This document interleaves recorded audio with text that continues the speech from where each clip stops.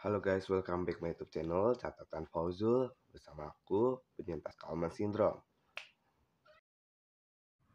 Klik tombol subscribe untuk membantu kegiatan aku mengembangkan channel YouTube ini. Nah, ini adalah Fauzul di bulan April 2022. Uh, setelah kemarin evaluasi lab, aku konsul ke poli endokrin dan mendapatkan ini sustanon lagi. uh, ya, ini sustanon. Alhamdulillah udah dapet sustanon lagi. Maaf ya baru bangun tidur soalnya direkamnya ini pas uh, dini hari. Uh, ya, setelah kemarin evaluasi lab hormon testosteron, aku konsul ke poli lagi dan mendapatkan sustanon ini. Uh, tinggal nunggu prosesnya aja ya. Oh ya, aku mau update uh, fisik aku seperti apa. Wait, wait, wait, tunggu. Jadi ini lah. Jadi ini adalah fisik aku yang sekarang. Tuh, kelihatan kurus daripada sebelumnya dan pembesaran payudara juga udah maksudnya udah mengecil payudaranya nggak seperti dulu membesar bergelambir gitu. Tuh lihat kan? Uh, puji syukur alhamdulillah banyak perubahan yang berarti di tubuh aku. Uh, sekarang tinggal menikmati proses yang ada. Uh, memang progres uh, Sustanon ini agak lama ya daripada merek-merek lain kayak Nebido seperti itu karena ini di cover BPJS uh, oh ya bagi yang belum mengenal aku uh, kenalin aku Fauzul aku adalah penyintas Kalman Syndrome. Kalman Syndrome adalah uh, gangguan penundaan kematangan seksual atau gangguan pubertas yang menyebabkan tidak mengalami pubertas seperti ereksi itu perubahan fisik lainnya. Suara dulu belum seberat ini gitu uh, mungkin bagi kalian uh, aneh ya tapi memang gangguan ini benar-benar terjadi uh, kepada aku dan beberapa ada kondisi lain juga yang sama yang dirasakan oleh penyintas Kalman sindrom lainnya. Oh ya, dan aku mengalami uh, seperti kurang sensitif pada penciuman.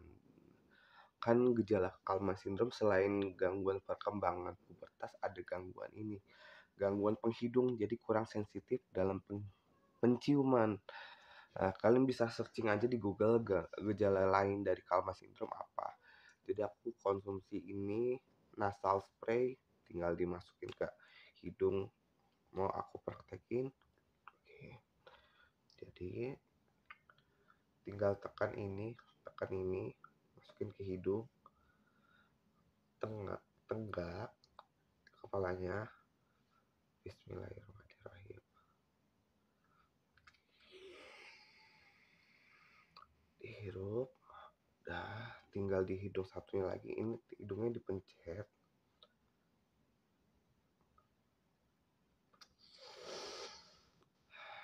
Jadi gini kalau pakai nasal spray nggak tahu ini aku di resep Miki nanti dulu ya. Aku lagi pelihara kucing. Hmm. nanti aku kasih tahu deh kucing aku gimana. Miki nanti dulu ya Miki ya. Jadi bulan April memasuki bulan Ramadan bulan yang suci bagi kami umat muslim dan kita menantikan bulan Ramadan kita menantikan bisa ada di Ramadan itu uh, adalah nikmat yang ter tidak terduga uh, uh, aku bersyukur uh, saat ini sudah mendapatkan penanganan yang tepat uh, kepada dokter. Jadi aku uh, terapi hormon rutin itu bukan keinginan aku karena ada gangguan medis yang memungkinkan untuk uh, terapi hormon rutin itu aku juga ingin berterima kasih kepada semua dokter yang pernah menangani aku. Uh, terima kasih banyak. Uh, jasa dokter tidak bisa aku lupakan semuanya. Jasa dokter dokter-dokter lain sebelum dokter yang aku menangani aku saat ini aku terima kasih kepada dokter-dokter yang sebelumnya menangani aku uh, karenamu mungkin aku tidak seperti ini. Aku tinggal menikmati proses-proses perubahannya. Uh, jangan lupa like dan subscribe channel catatan Fauzul jika kalian ingin mendukung aku di YouTube terima kasih